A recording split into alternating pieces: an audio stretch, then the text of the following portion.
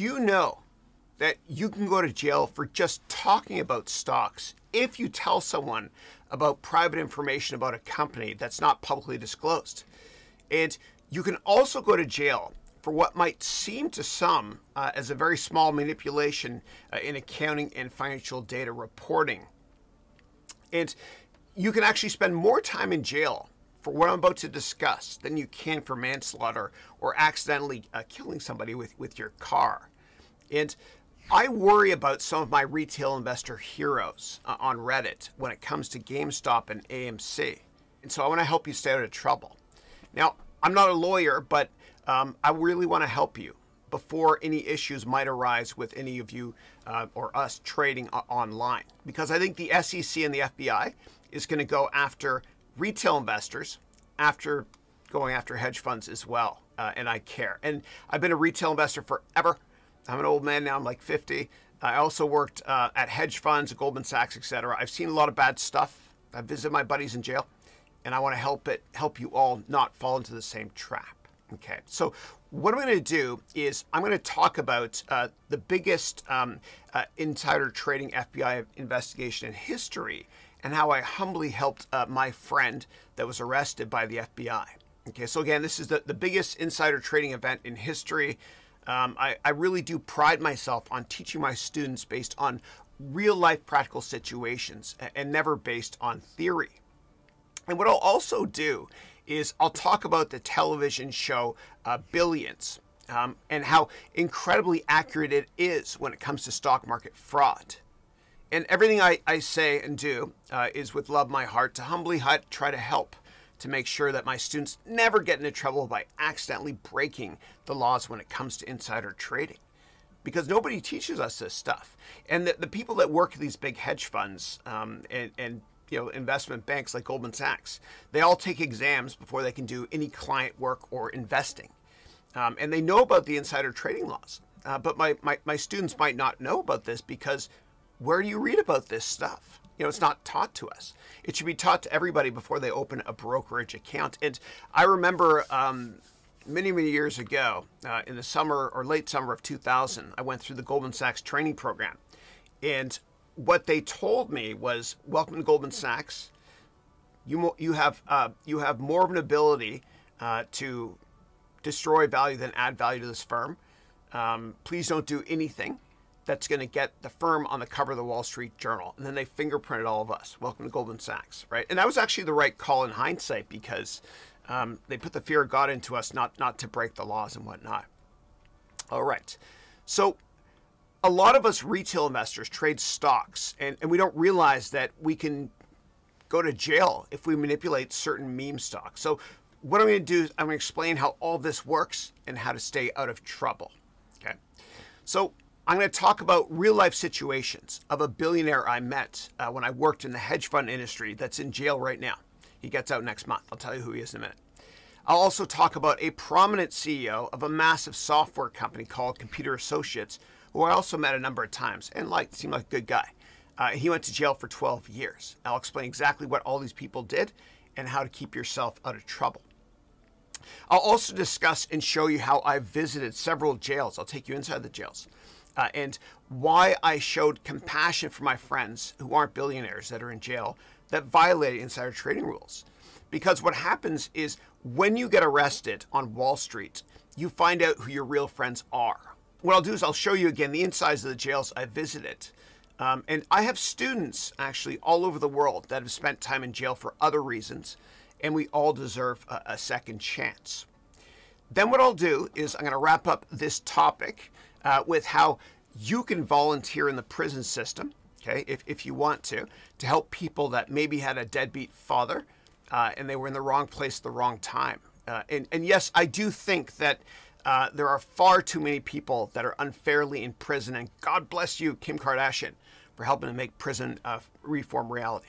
A reality, yeah. She's in law school now working on that. So, in order to learn the insider trading rules, what we're going to do is we're going to look at a case study of a massive hedge fund uh, that was a criminal institution called Galleon. And when I worked at Goldman Sachs in New York City, Uh, Galleon was our second largest client uh, of Goldman Sachs' equities division. The largest was a mutual fund we weren't allowed to talk about that rhymes with Fidelity. They're so powerful. And actually, when it comes to, to, to Fidelity, and this is public knowledge, when it comes to Fidelity uh, with, with IPOs, right, and Fidelity's a big mutual fund in Boston, um, they're so powerful that, and they pay so much money in commissions to, to trading floors, that in every IPO, Fidelity, it's an unwritten rule, they get twice as many shares in the IPO than the second largest uh, institutional investor. And so when I worked at Goldman, the second largest institutional investor, a hedge fund client, uh, was actually uh, Galleon. Now, Goldman Sachs did not do anything wrong with the Galleon scandal I'm about to talk about. So here's what happened. So there's this guy named uh, Raj Rajaratnam that ran a multi-billion dollar hedge fund called Galleon. And I actually had dinner with him once uh, at a Deutsche Bank conference in Miami in 2004, and, and we shared a cab ride home after that as well. But there was something about him, you know, an arrogance. And it, for him, it seemed like he was giving off the impression that it's so easy to make money and how all of his employees are like disposable, you know, pawns in, in a chess game. So the way that hedge funds actually work is before the markets open in the morning, uh, they have what's called a, a morning meeting. Uh, and in this morning meeting, what they do is they discuss news that might make stocks go up or down. Okay, and this this is a little excerpt uh, from a course of mine called the Complete Financial Analyst course. So what happens is there are morning meetings uh, every day before the market opens, uh, where what happens is they discuss news that might make stocks go up or down. I'm trying to bring you inside the mind of of hedge funds and how it all works.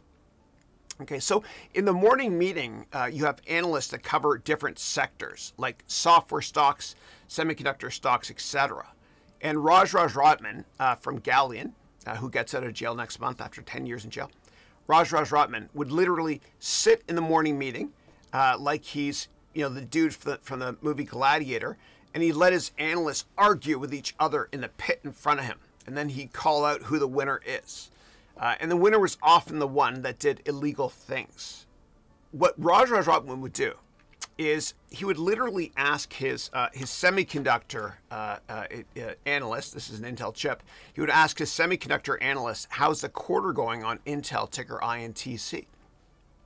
And the analyst would reply, Raj, as I mentioned in yesterday's morning meeting, Intel is tracking a bit ahead of plan for the quarter.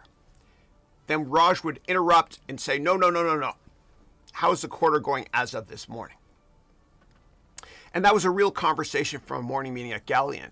And what is illegal about that is that no investor is ever allowed to know anything about how business is tracking at a publicly traded company until the company publicly discloses the information through a press release or through a publicly accessible source uh, like a webcast like this one here, or through a quote in the media. So if you're lining up at Starbucks one day, you know, waiting for your coffee, and some dude comes in front of you that works for Intel, for example, uh, and they say to their colleague in front of you, gosh, things are awful this quarter and we're going to miss earnings. And then if you take that information and you trade on it, or even if you tell someone that trades on that, you can go to jail because that information is not publicly disclosed. And Martha Stewart actually, this is crazy, but but Martha Stewart spent time in jail because of insider trading. 2 years to be exact. And the real story apparently uh, is that when the SEC, the Securities and Exchange Commission, when the SEC was investigating her, she was not the nicest person to the SEC, which may have caused the SEC to be not as lenient. I'll, I'll leave it at that. Let's get back to Galleon. Money certainly can be the root of all evil, and this causes many people, but not certainly all hedge fund employees, but many, uh, to violate insider trading rules. Now, with Galleon, it was so ridiculous with that it was so ridiculous that Raj Rajaratnam, um, who is like many billionaires in finance, uh, thinks he's above the law.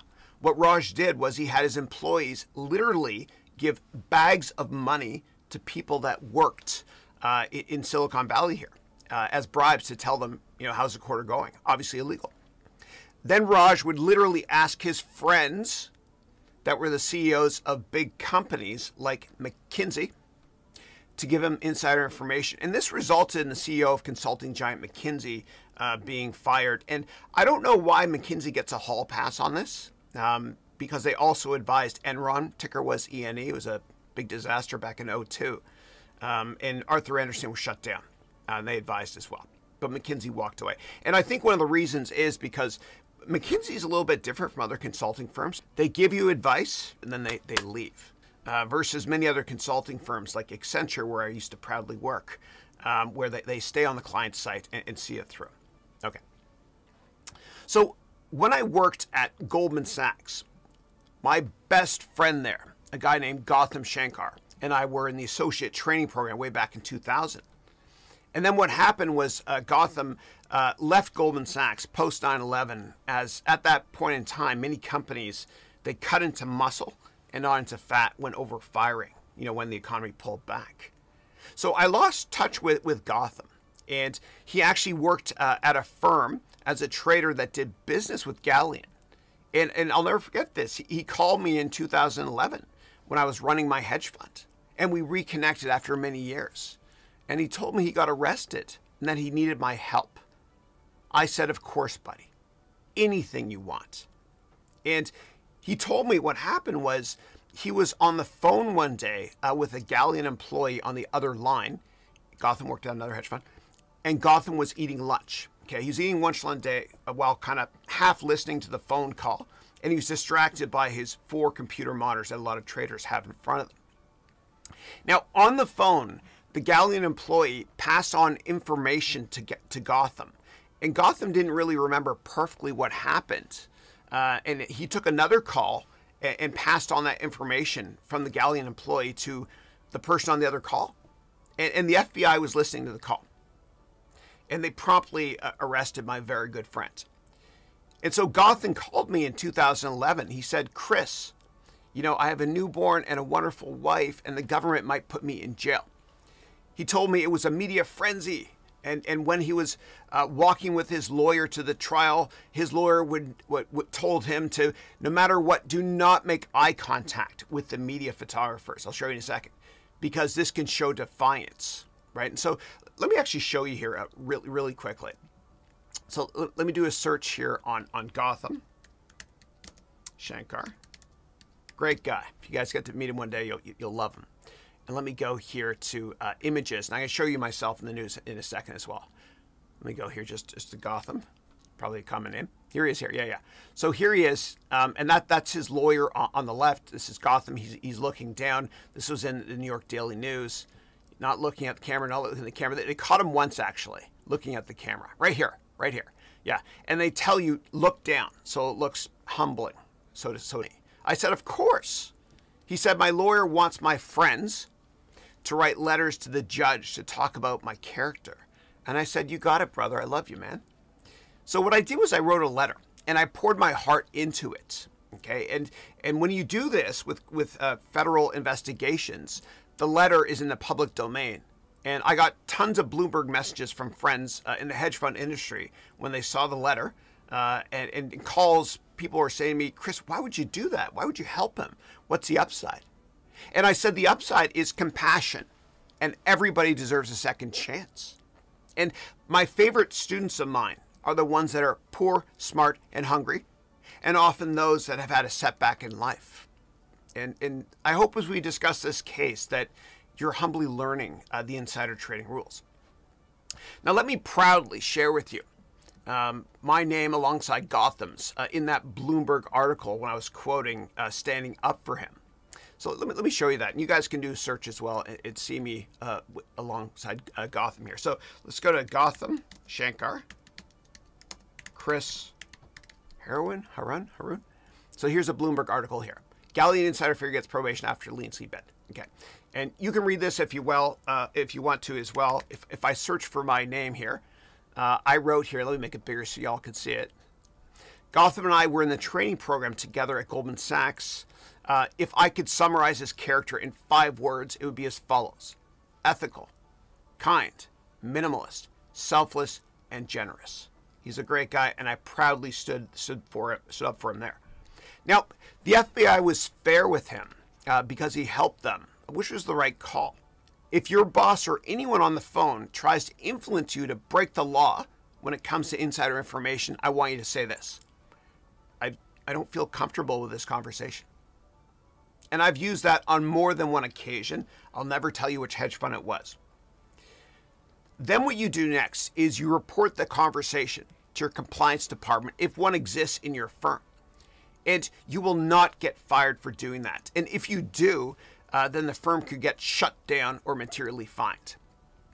And if you work at a finance company, then they will promptly put the stock you had information on on what's called the restricted list for at least a month, meaning nobody in the department or potentially firm wide can transact uh, in that company.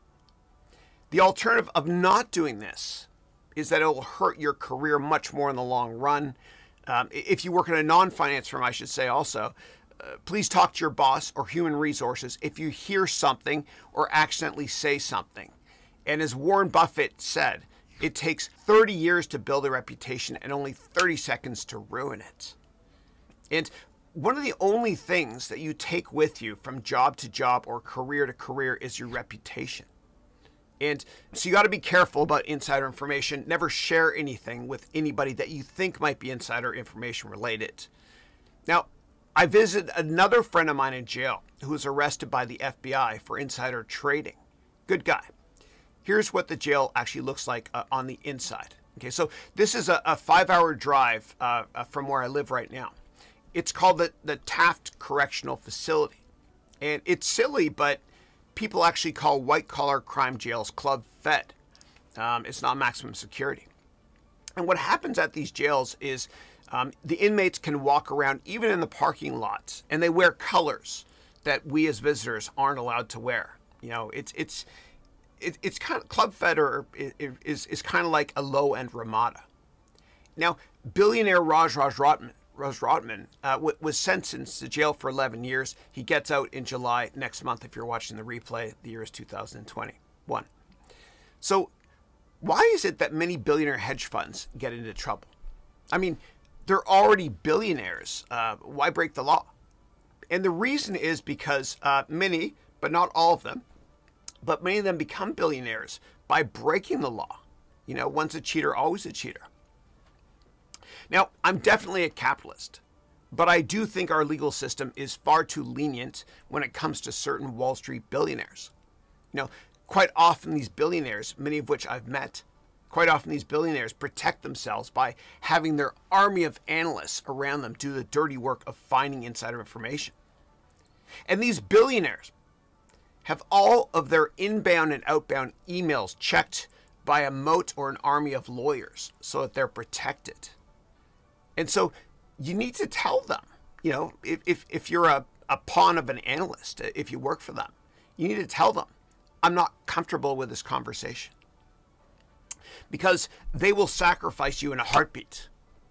Okay, now, not all hedge fund billionaires are corrupt but lots of them uh, are. And, and many of them donate a lot of money to politicians, which gives them a get out of jail free card.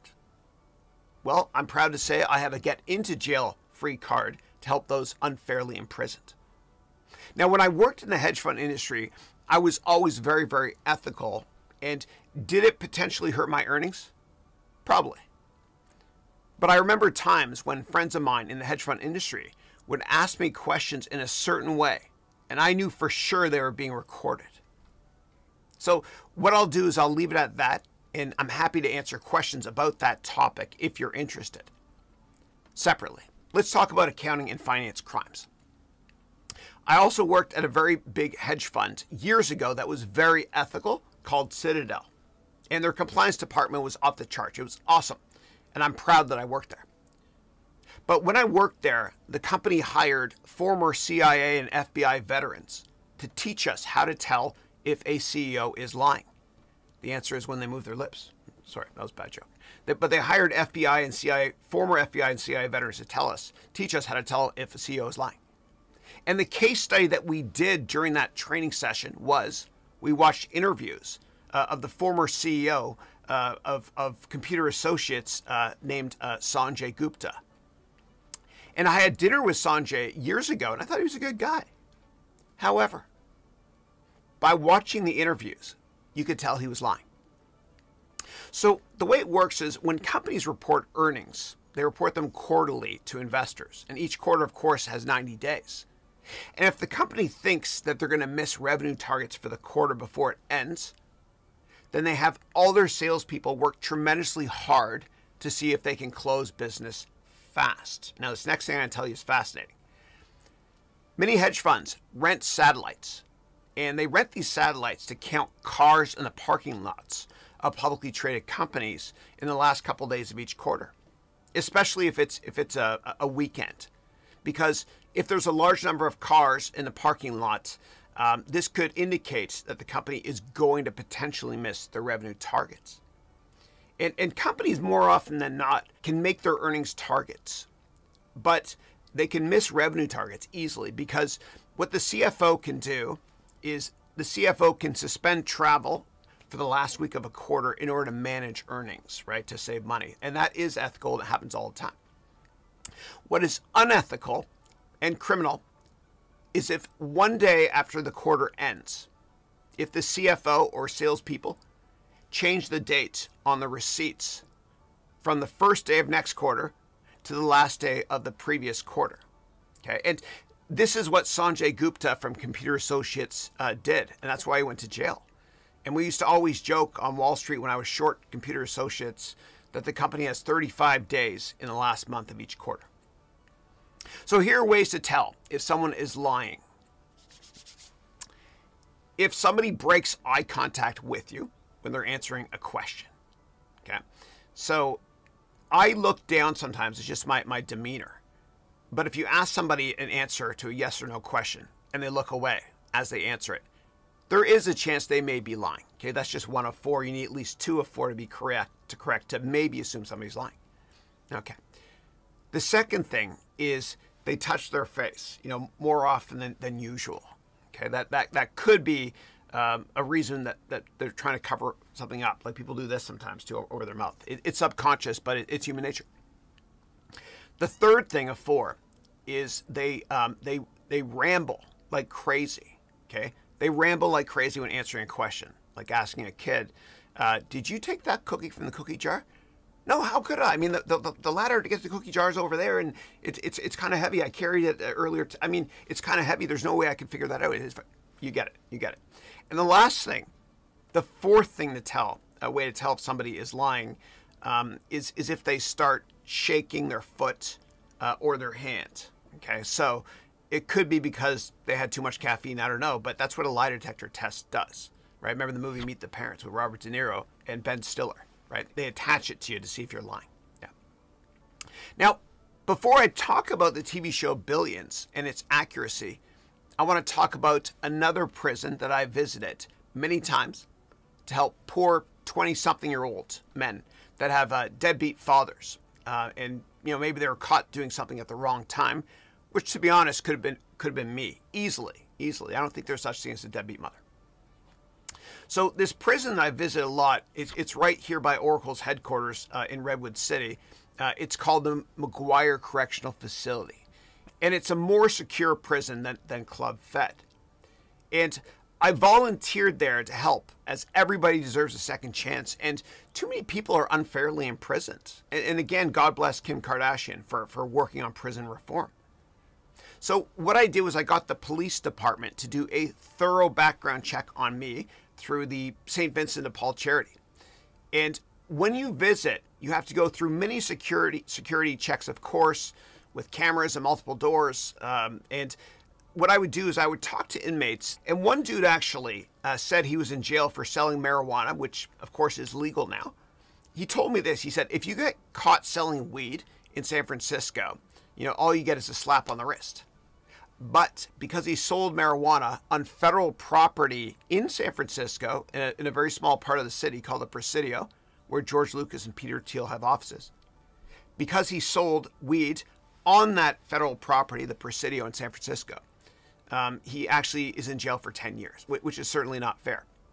And so I volunteered at the Maguire Correctional Facility, uh, and it actually looks like this on, on the inside. And I did it on Sundays. And this is not a religious thing at all, but I used to be terrified of public speaking. And you need to always run to your fears in business because your competition also has the same fears, I promise you, and they'll run away from it. You got to run to your fears and embrace it. And so when it comes to public speaking, um, I, would rather die than give a speech. The way I used to be. But one Sunday I was in the prison system, and usually there's there's a priest that goes in with you, and the priest wasn't there that one Sunday. Okay, and what the way it works is when, when you go into the prison system uh, through a not-for-profit, there's many charities, uh, different religions, etc., uh, religious institutions where you can get it. But what happens is on a Sunday there's a, a church service, right? And I'll never forget this because the priest wasn't there, right? And so um, what I did was I went into uh, one of these rooms here. You, you could see it actually here, uh, one of these smaller rooms through a door there. And I, I was given a pamphlet and I was supposed to read it. And I was so scared, man. I was standing up there uh, and there were 30 inmates in that room in orange jumpsuits and they had their arms crossed, right? Uh, it was terrifying, terrifying. And some of them had tattoos saying "F you" right here. It was, it was, it was nutty. So they're looking at like they're like, "Who the hell are you?" And so I, I was reading the pamphlet, and what happens in church and all religious institutions is the priest, rabbi, whatever, reads um, something from the text, right? The, the, the, the, New Testament in this case. And then after the, the priest reads it, the priest gives this speech. And the priest has all week long to prepare for this. I didn't have, I didn't have any time to prepare for it. So I read from the gospel. It was a, a passage about hope uh, and faith and confidence. And I had to give the speech about that. I was terrified, dude. And, and when you're up there and your knees are shaking, nobody sees your knees shaking. Nobody sees that you're nervous. You only feel it. I promise you. Uh, and so uh, I was supposed to give a speech. And, and so I, I just kind of winged it. And what I said kind of changed my life because it, it, helped me conquer my fear of public speaking. And so, uh, and, and dude, if you want to learn public speaking, like the scariest place to do it is a prison system. And so I said this to the inmates. They're all sitting there like this. I said, Do you believe in God? And a bunch of them said, Yeah. And I said, Does God believe in you?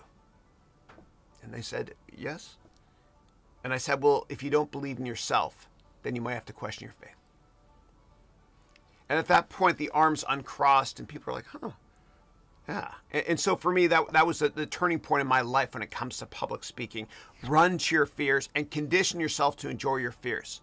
So now that we know what these prisons look like and how to visit uh, your friends to help others that are unfairly, you know, put in the prison system, what I want to do is I want to now talk about the TV show Billions and how incredibly accurate it is. And one of the writers and creators is this brilliant dude named Andrew Ross Sorkin. Okay, and he was actually one of the creators of, of Billions. He's an amazing journalist.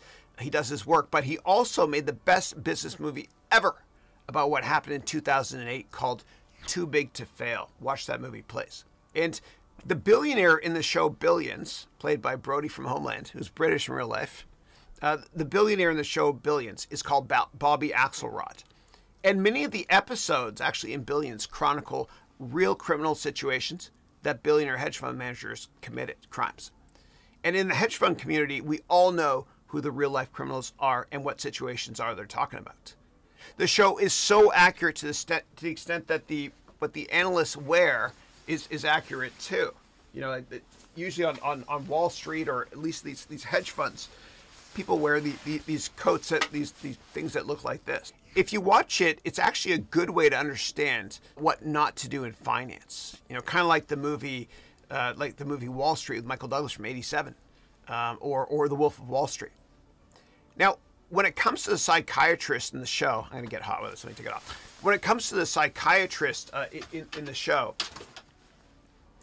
um, uh, it's it's it, it's it's actually accurate, right? Because many many hedge funds actually have built have uh, have psychiatrists on site, uh, and I worked for a hedge fund in New York City uh, where they have one on site uh, every now and then called Kingdon Capital.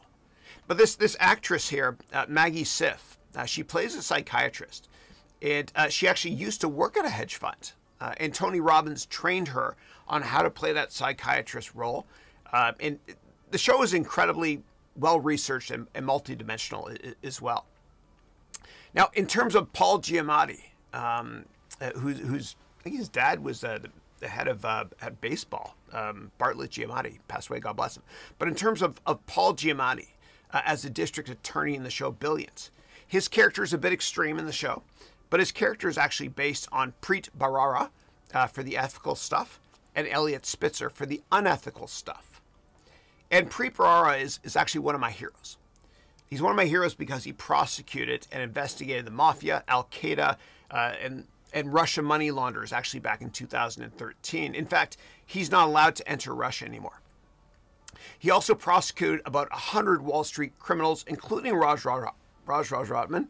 Uh, and, and, I actually wish that, that Preet was still working for the government, as there are a lot of criminal bankers that got bailed out in 2008 that gave themselves record bonuses in 2010, while many Americans lost their houses. Not fair.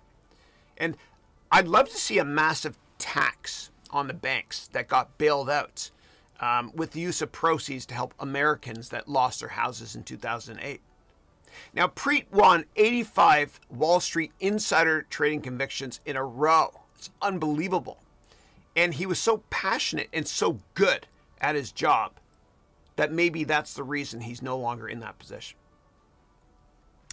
The last thing I'll say is that if you transact in stocks, and if you think there's a small chance you could get into trouble by driving up or down certain stocks like GameStop or AMC, please be careful. Because I think the SEC and the FBI will be looking into stock manipulation, regardless of if you work at a hedge fund or you're one of my retail hero investors on Reddit. Thanks.